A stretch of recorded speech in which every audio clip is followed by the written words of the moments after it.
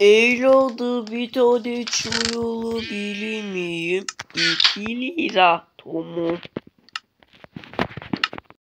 Oğlu ve ben iki tane çuyulu bilir miyim?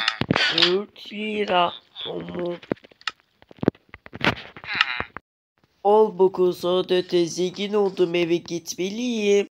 Zengin oldum. Araba alsam, telefon alsam, bilgisayar alsam, avucumu alsam, yemek alsam.